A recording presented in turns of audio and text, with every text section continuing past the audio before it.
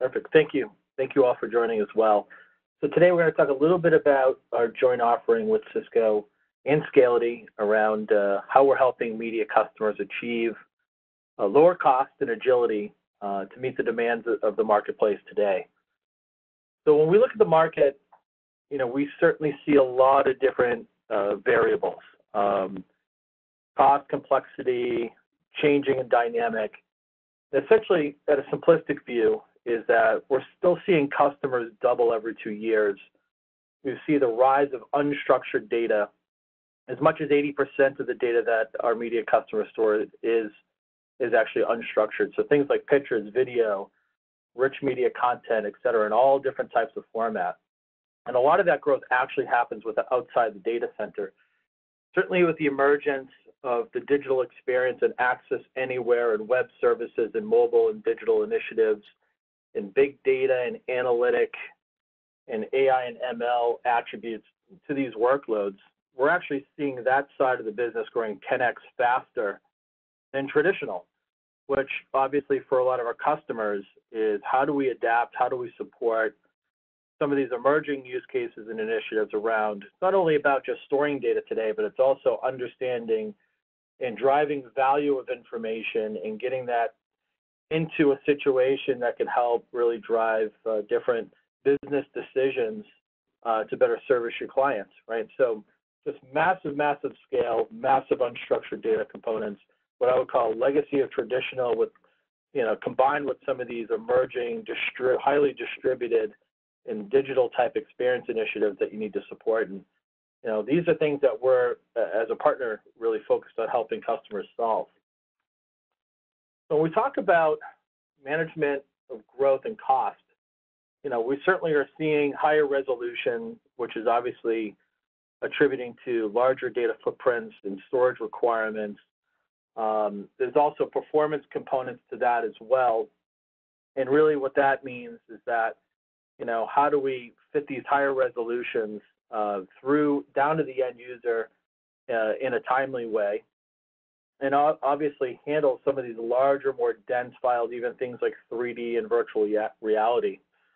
Um, now, from a, a, total cost of ownership perspective, is is that you know when you look at tier one storage for for capture and stream and post uh, post production and downstream is you know how are we able to do this at a at a low cost to serve that allows the businesses to be profitable but meet the demands of the market.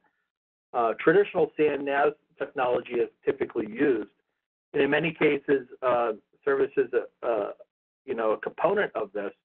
But you know these are things that we're we're really maniacally focused on helping to solve and to complement and sometimes uh, totally transform. Um, and we want to do this in a in a very transparent way uh, to really maintain the types of workloads that, that you're seeing within the media workflow pipeline. And from a lot of our media customers is that these assets are kept pretty much indefinitely. And at a moment's notice could be called upon um, you know based on a, a trigger in the market or something that's happening. Uh, could be someone that passes away or a particular event or uh, how do we handle these just-in-time type situations? And a lot of people are still working from tape which is you know one one element is is, is certainly cost effective but from a response time doesn't really kind of give that just-in-time experience that a lot of our media customers are looking for. Um, you know, now when we look at it from an agility perspective is, is that, you know, we, we talked about different storage mediums and tier one, SAN, NAS, tape, uh, cost to serve. But there's also varying degrees of different formats that a lot of our customers are trying to manage you know, streaming and on-demand services are really taking off, especially what, what's going on today, where people want that any any device, anytime access to content, which could be a mobile device, your TV, it could be essentially a, your laptop or what have you, and having all these different device uh, dependencies and again this 24 by 7 type access or on-demand access to content it's truly changed. It's it's changed dramatically over the past few years, certainly just because of really consumerization of media.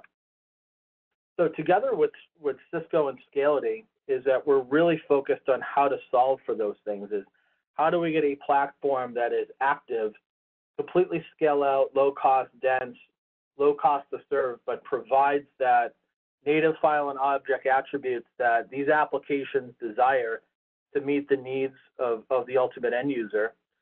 And you know get to a cost point that is um, you know rivaling you know, rival tape or rival even low cost cold archives but provide the online accessibility to really meet the demands of those you know near time real time uh, event based uh, scenarios. That can also grow very very easy by just adding nodes drives on demand when you need it but not having stovepipes or silos worth of storage and having it as one large uh, cloud, if you will, that can span not only a single site, but across multiple sites, which also helps us with content distribution uh, and agility. And, you know, when you look at it from a platform standpoint, we're really focused on providing a massively scale out, massively parallel system that can do a lot in terms of parallel throughput and performance across location to really drive some workloads around content, media, media origin storage, content distribution in a very seamless way. The capacity and performance can grow independently of each other. We can support mixed format.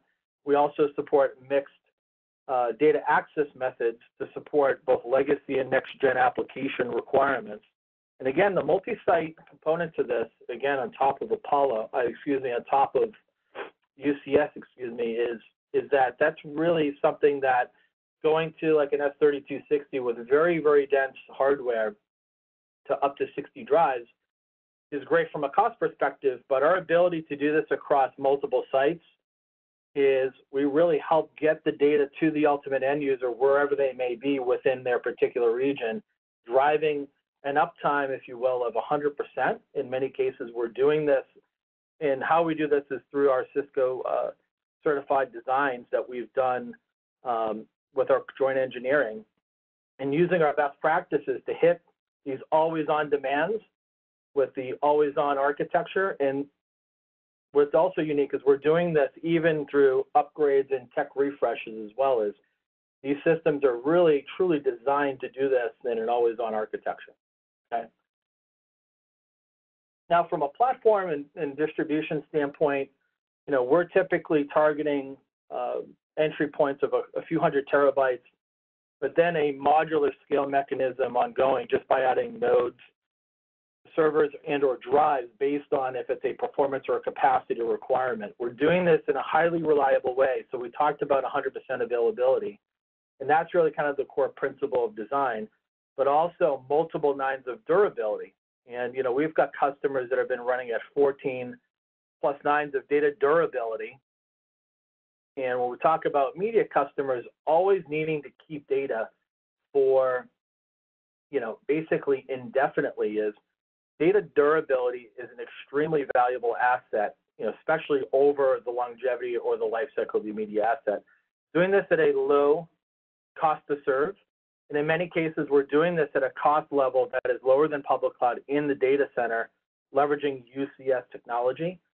And we have an ability to do geo distribution uh, to go two, three, four, five sites, if you will, uh, with both copies and or distributed erasure coding to provide the lowest overhead possible to provide not only distribution, but site durability if a site is unavailable or out.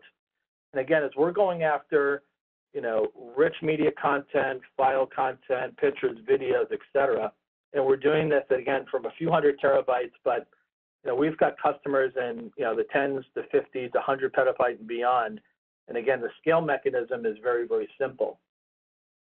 Now, from a workflow perspective, is you know this one's really unique for us is that providing capability for the content creators and a lot of these applications today uh, could be leveraging file and or an object interface for that rich media content is that once that hits post-production is that they need a very large, scalable and performance system that can also distribute across location and down to the end user. So it's really common for us is that we'll work with these content-based platforms, the asset managers, et cetera, is that, you know, as you can see is, is that the devices will, will, will push into the platform.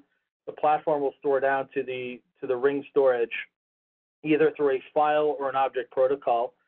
And from there, that is where the data is stored, it's accessed, it's distributed, and it's consumed. And, and again, it's from us, is supporting multiple protocols, not only within a location, but across, is a in, in a very scalable, modular way to do both capacity and performance. You know, software defined on UCS. This gives us a lot of capability because when we get into these situations in terms of workflow, is that you know, this allows us to provide the exact right configuration to meet the performance, the availability, the durability, and also the distribution demands that we're seeing with our customers today. On top of what we're doing specifically with media workflow and storing media assets and work with the asset managers and helping with content distribution, Scality is also leveraged for a number of other use cases, which could be complementary to a lot of our media customers. So we do a lot with content and collaboration platforms, and obviously media asset managers are a key component to that, but scanning and imaging and messaging and email. We're also a platform for customers to leverage for an archive, whether it's file, email, imaging, content, social media capture, uh, database archiving, even uh, video asset archiving, et cetera. Long-term retention for backups. So if you're using things like Commvault or Veeam or Veritas for traditional backup and recovery mechanisms, we work with all those major application vendors. And again, is they're leveraging us for long-term retention because of our economic capability, but also from our scale and our cost capability as well, uh, which obviously, again, is in that in that environment, there's certainly a lot of tape. Also, like we see uh, in the media side of the house as well for for primary uh, workload archiving. But the two columns in the middle, big data and cloud native, these ones are really unique for us because you know once you have the data stored in our platform, the ability that we can provide access to any type of big data analytic component, AI, ML tools to understand and drive value of that information, no matter what the source is coming from, is really unique. And we're also seeing a lot with web and or mobile next gen application where they're leveraging our SDK through web services to distribute these assets out to either business to consumer or business to business. And again, Scality Ring supporting a RESTful S3 based interface is purpose built for these web content delivery platforms, which we see a lot now in media. So we have the traditional uh, asset manager or digital asset manager and media asset managers, but we're also seeing a lot of these web-based or mobile-based platforms being built where object storage becomes a pillar service within that distribution. So we pride ourselves in the ability to serve multiple use cases in a secure multi-tenant, multi-site way, but also multi-cloud. As you can see below, is that we have what's called Ring 8, which is our distributed file and object platform software defined on UCS. But we also have a component called extended data management. What this allows us to do is to extend a workflow from on-premise to cloud of choice, one to many, many to one, a tier, a copy, and provide that in a very ubiquitous way, all derived from policy. So, especially in the media side of the house, we're doing a lot with media customers, not only within data center across their their their data center facilities, but also leveraging this into a pipeline that includes public cloud in a very, very unique way that allows us to do things like burst and tier on demand and provide additional agility uh, to really, again, drive value out of information. Um, we work a lot with application vendors, as you can see. We put a lot of the logos here. These are certainly trusted ISV partners that we've done a lot of the due diligence with. So therefore, these are very programmatic plug-and-play solutions that if you've got, you know, a video asset manager like um, like Broadpeak, uh, Broadpeak or uh, Signiant or OpenText. Uh, you've got you know Veritas or Veeam. Um, we've got best practices and solution architectures to support these these applications in a very simple way. But as you saw in the slide before, we're doing a lot with these next gen uh, microservice distributed application stacks and AI and ML, which are really leveraging our API capability and, extensibility as well. So we have a broad ecosystem which you can leverage, which is fantastic, but we also provide a platform for development. We have many customers worldwide, as you can see, especially in the media space. It's really a key uh, a key demographic for Scality and something that we have heritage in. And uh, again, as we're we're working with a lot of these big media houses on storing, retaining, and distributing content at at web scale. And uh, we're certainly doing this with with extreme confidence and meeting the SLAs that are required. And I think that kind of goes to show why we've been, uh, you know, recognized by the, the, analyst community as well. We've been in the Gartner and IDC uh, leader quadrant for distributing file and object for four years running. Um, and you know, since we do file and object in the same platform, that is a very unique thing when you actually look at some of the the alternatives alternatives in our market. Is that they tend to require multiple platforms to provide access for those multiple protocols, but Scality has been very successful in doing that in one framework. And some of our unique drivers are just that. One is the ability to have both file and object. This allows us to service any of these content-driven applications in a very simplistic way in, in the way that they need to speak to storage. Many of the newer applications are leveraging an object-centric interface, which is fantastic. We love that. But we also have a lot of applications and even heritage-based applications that, that require POSIX or file. That is fine. We can do that and have the same outcome in terms of cost and scale. We scale capacity independent of performance. And really what that means is if you need throughput, we add throughput. If you need more transactions per second, we can add things like CPU and memory. If you need capacity, we can add disk. This is a very unique construct for scaled architectures. Typically, when you pick a node, a node has 20 drives. You need performance, you add the same brick. Even if you don't consume the capacity that's behind the brick, you're still paying for it. With Scality, that is not the case. You add the right components based on what you need. The licensing model is absolutely simple. It's based on unique data managed.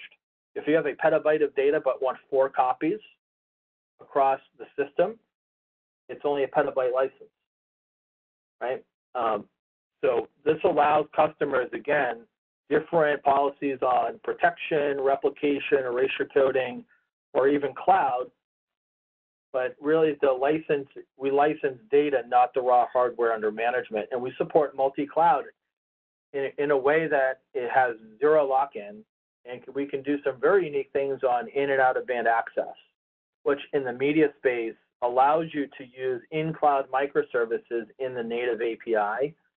Um, and again, those were some of our unique design principles when we launched that capability. So we, I know we went through quite a bit about Scality, Scality in the media space, and some of our key use cases and partnerships and alignment with Cisco and UCS being that core foundation, and uh, talked a little bit about some of our unique uh, capabilities here. Is that um, I think we'll find when we, we, we kick it over to here to to Dave in a second is to talk really about the foundational elements from a, a fabric and an architecture perspective, hardware-wise. Is you know we've really truly got best in class both software-defined storage with Scality, some of the things you'll learn about Cisco UCS will really help round out on why this is such a winner in the market and why we're seeing so so much success. So on that note, I will uh, kick it over to Dave, and he's going to talk a little bit more about um, the Cisco UCS architecture, how that is centric to media, and really how the solution really comes together from a from a from a hardware and software perspective.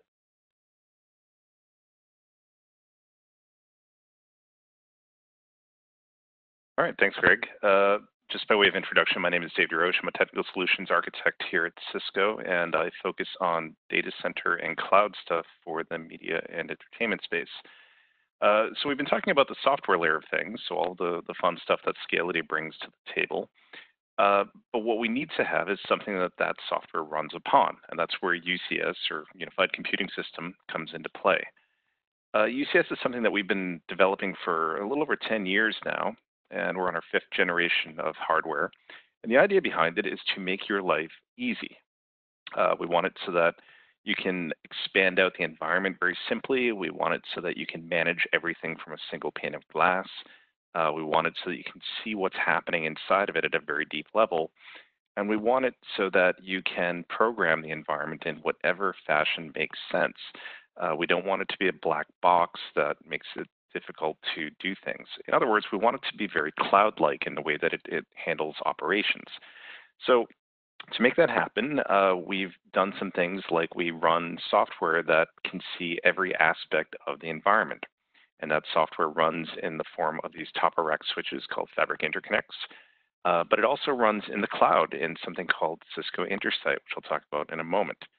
And these give you the ability to run things either locally or cloud-based uh, from a management perspective, and again, see everything that happens inside. I mentioned it being 100% programmable. Everything that we do is exposed via API layer. So uh, if you like the GUI and the CLI that we provide, great. If you don't, that's okay too. We don't take it personally, and you can write anything that you want in order to interface with this. And we do this with a number of our partners. The last bit is that it has to be uh, visible. You have to be able to see everything that's happening inside of the environment. So uh, a lot of the stuff that we do is based upon analytics so that you can see when things run hot or when you need to expand and, and these kind of things. So again, it's just, it's a way of, of dealing with compute in all different form factors in a very easy to consume, easy to scale, easy to manage, easy to use kind of fashion. One of the ways that we make things easy is by using something called Intersight. And Intersight is a cloud portal that we use to access all of the different types of footprints that we have, uh, blade, rack, modular, storage server based, and make things a little bit more interactive than just a dashboard in that uh, we have hooks into our tax system so that if uh, there's something known to be a problem from a software or hardware perspective, we will proactively reach out to you and say, look, you're running a version of code that's exposed to maybe this security hole or, or something of that nature. You may want to upgrade to this version, which fixes it, or uh, a bad batch of hard drives went out, or, or memory, or something of that nature. The point is, is that we want to be able to interact with you and fix the environment before things happen, as opposed to just getting a red alarm and, and shipping it off after the fact and, and getting a telephone call. So the point of this is, again, to make it a very easy to consume, easy to manage system, but also one that um, enables things like high availability and uptime and so forth as we go through these. There are a number of different ways that UCS can be deployed. We're talking about uh, scale-out storage in this case. Uh, there are a lot of other things that we can run inside of the environment. So I'm going to show you a couple of different topologies that we're using for the Scality use case. Uh, but understand that in addition to that, you could also run other applications in the same environment just uh, side by side. We're not going to really differentiate between the applications in that sense, so you can run whatever you want, wherever you want. And again, we're going to use the same management tools to make all of those things happen. And I'm kind of listing some of those things down the bottom. So uh, what we're looking at with Scality is on the right here where we talk about scale out storage. So we're used to traditional storage infrastructure where we have uh, the big storage vendors and they have arrays and, and all these kind of things. And we work with them too, that's fine. Uh, but in this case, what we're talking about is having the ability to run the storage on effectively commodity servers, servers that have CPUs and hard drives and all the things that you'd expect inside of them that are running this software on top of them. In this case, we're using a couple of different rack servers to make that happen. One is uh, C-Series, which is a 2U box, um, happens to be something called a C240. And then this S3260, which is a much higher density uh, box, which I'll show you some interesting things about in a moment here. But the point is, is that we can use all of these different technologies uh, either individually or simultaneously, and it really depends on what your use cases are. So the 3260, which is predominantly what we use for scale-out storage environments, was built from the ground up as a modular platform. And what I mean by that is that this is a fairly big piece of iron. It's a 4U box. Uh, it has 56 top-loading drives. And in the back, you'll notice that there's a bunch of modules that plug into it. The interesting things about having a modular approach is that it allows us to upgrade individual components very, very easily. So if you happen to have a chassis that has a ton of hard drives inside of it, and a new generation of CPUs comes out, for example, you don't have to replace the entirety of the chassis to upgrade to that new technology. You can simply replace the server node inside of it and, and not break your back pulling the thing out of the rack. Um, another interesting point is that there are two server blades inside of the back of this box, and you can choose what your compute to storage ratio should be. So if you need more compute and less drives, you add two nodes. If you need more drives and uh, per node, you just have one. You can actually put four more hard drives in the back of it should you choose to. And this is interesting because it, it, allows us a lot of flexibility when it comes to you know how many drives are being accessed by a controller, um, how many uh, how much uh, software is hitting a, a, particular group of drives, and so forth. So in the in the ones that we're doing for Scality, uh, we tend to use single node designs and we tend to use as many spinning drives as we can in the top because in this sort of use case, we're looking for capacity uh, as opposed to speed for the most part. So we could put a bunch of SSDs in the top of it, but in reality is uh, that we're looking for uh, just massive capacity, which is still kind of more towards the spinning drive. But again, understand that you can do both of these. And likewise, uh, from a network perspective, we're looking at, um, again, these modules in the back we tend to do things at either 25 or 40 gig uh, at this point, but understand that these modules are, again, changing. So as things like 100 gig becomes more popular, it's simply a matter of changing the module in the back of the chassis. Again, we want to have some reuse of components as opposed to having to constantly upgrade the entirety of a box to get to an endpoint. So with that said, we've got a couple of different offers that we're doing with um, Scality and these fall into our Cisco validated design category. So if you look up uh, Scality Cisco validated design, you can actually get a, a, white paper that talks about all of the config aspects to make this happen. But effectively, we start with, uh, there's three different um, kind of starting tiers. There's a 500 terabyte tier, which is based on C240s, again, the, the 2U box that we talked about. Um, these are paired up with a pair of fabric interconnects and then those go northbound into some network. Now, we, being Cisco, obviously recommend Nexus 9300s, but it can go into whatever happens to be in your environment. Uh, likewise, from a larger perspective, we have a one petabyte and a three petabyte usable, and these are based on those 3260 modular chassis that I talked about a moment ago. And it's the same kind of thing where we're going into fabric interconnects and then up to the rest of the network. Now understand that in this environment, you know, we're talking about a, a starting point of, of one petabyte or three petabytes, but it can grow obviously well beyond that. You simply add servers and, and you know, the software takes care of expanding the environment out for you. Uh, in fact, in a pair of fabric interconnects, they can handle up to, uh, well, in theory, 160 managed devices, but in reality, it's usually something smaller than that. And then things like Intersight can manage multiples of these environments. You could have these things all over the world and do replication between them and so forth. Again, we're looking for this kind of malleable, flexible, scalable environment. And so, Greg, I'm going to throw this back to you and you can bring us home.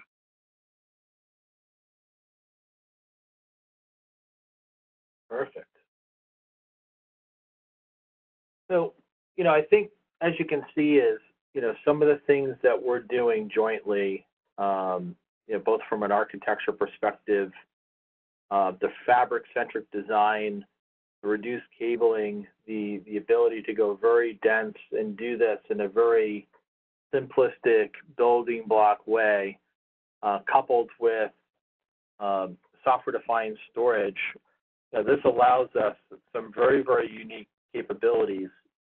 Now, on top of this is that when we talk about things like future proofing and moving forward is, is that the beauty of software defined is as soon as some of the enhancements come out on UCS, where our ability to leverage those immediately is there. So examples would be different chipsets, different drive types, different media types. Is that, you know, this is really kind of where the partnership is very unique is that we can do this. And we even have customers that are running in multi, uh, a single system in uh, what I would call a multi-generational architecture, right? Because that allows us not to really lock in, but to leverage kind of the latest and greatest, right? So the the ability that we have there is really unmatched. And you know, again, as we're meeting always on SLAs and highly durable solutions, and we have an ability to really tune and align those based on what you're trying to achieve, performance or capacity or both, or even multi-site or multi-cloud. And, you know, again, as is that scaling out to, you know, whether it's a petabyte to tens of petabytes or even larger, is, is that we're doing this in a very scalable, programmatic way that eliminates a lot of the guesswork that, candidly, um, you know, these types of systems uh, in, in, in, in the past have been difficult to do is providing the, the choice and flexibility of software defined on best in class UCS. Um, you know, these are the things that we're bringing to market, and again, making them enterprise ready is uh, is something that's really really unique. So, you know, I think for us uh, jointly as a as a partnership and what we're seeing in the market with our customers, it's been certainly um, certainly game changing, right? So, um, I know that um, in terms of uh, closing here is that um, you know we certainly want to engage with you all.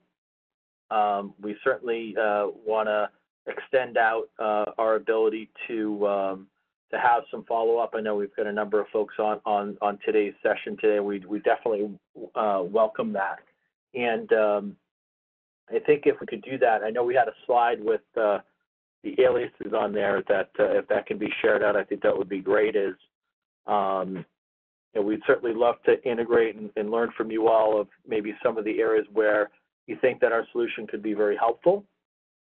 Um, and um, you, know, you can actually uh, reach out to sales uh, at scality.com. Um, and um, on the Cisco side, I know that there was uh, and also an alias that could be leveraged as well to to request engagement and uh, you know feel free to certainly reach out and, and set up you know time kind of one-on-one to kind of align to uh, maybe your particular environment or requirement. You know we'd love to learn about that and how we can support it.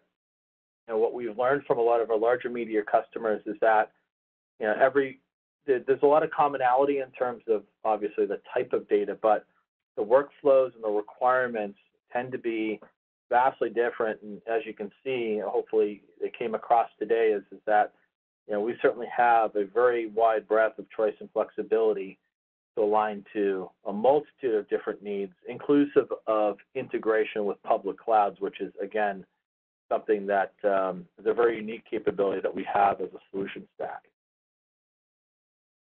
But uh, in closing, um, I'm not sure um, if there are any questions. Um, I um, I don't know if anybody's looked at the chat, but um, you know maybe we can we can take a peek there to see if there's any any uh, folks there had any particular questions uh, or questions to be answered, and we can do that here.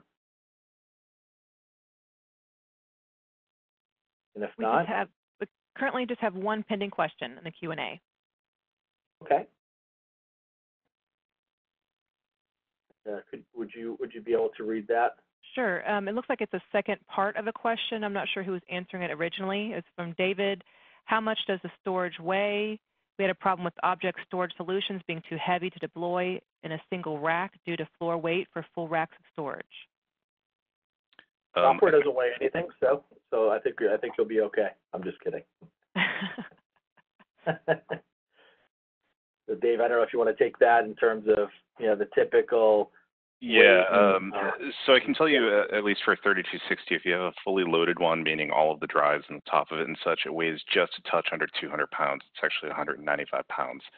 So that's per four rack units. Um, the configurations we're talking about here for the one and three petabyte uh, would be three of those units. So you're looking at roughly 600 pounds and then another 28-ish for the fabric interconnects. So um, should be in range for most data centers that I've seen. However, uh, what does tend to happen is even if the weight isn't an issue, if your data center is older, when you start running uh, lots of these inside of a rack, uh, you sometimes exceed the power and cooling budget of that rack. Uh, so you have to kind of run things through.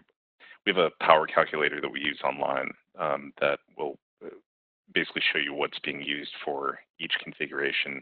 And I'll make sure that that gets added into the CVDs that I referred to earlier. They don't appear to be in there right now.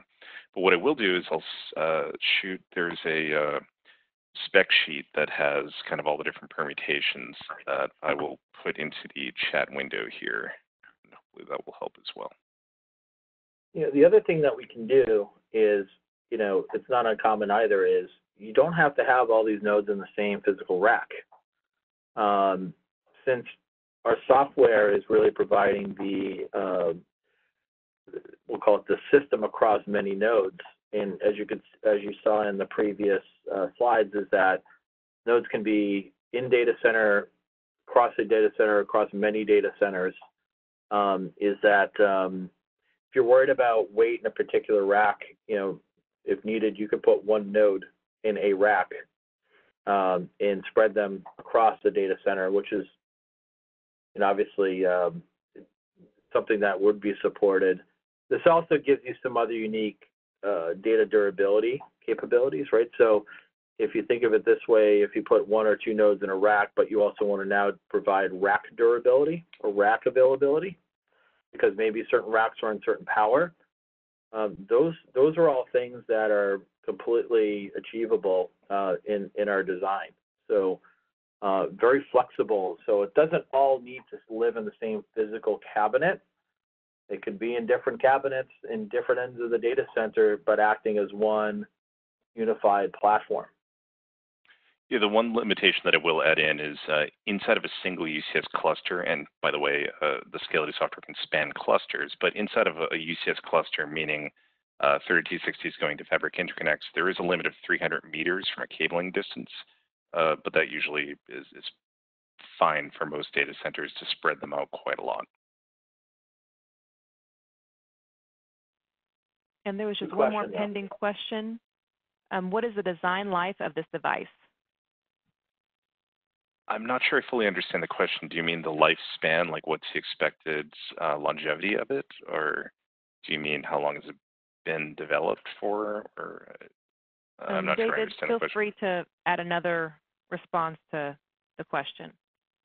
I think I, will take a stab at answering it. I think I understand it is, you know, so from a, so think of it this way is, is that a lot of alternatives that we see in, in, in our, in our space is more like the hardware and the software are part of a unit and that unit has a generation. And that usually that generation lasts, you know, three years uh, until the next generation of that unit comes out uh, like in an appliance form factor. Um, that's really not the life cycle that we have with this type of offering. And what I'll just try to explain is, so as UCS hardware evolves, that can live in the same system as current state or even previous state UCS. Um, new drives, bigger drives. So today we have 12 terabyte drives, 16s are coming out, and bigger are coming out later um, we're not bound to the same, we'll call it the same generation and same specific components ongoing in the same system.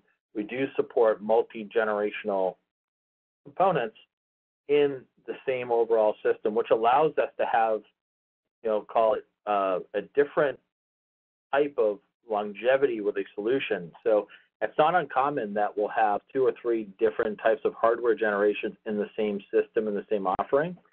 And since the software is software, when new things come out, you could simply evacuate the older UCS and replace it with the newer UCS with no downtime um, when that uh, life cycle is appropriate for your environment. So uh, it's not like we launched this config here and this is good for three years or five years only. It's think of it more like an evolution that can coexist. That makes sense. which is really one of the beauties of software-defined storage. You, you kind of decouple, so you're not saying that I always have to build with this this particular generation of brick.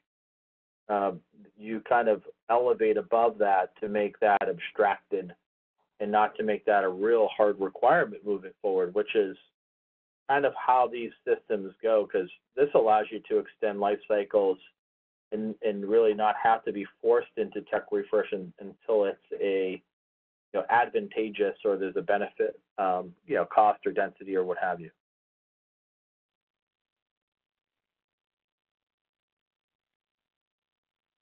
Great. I believe that's it.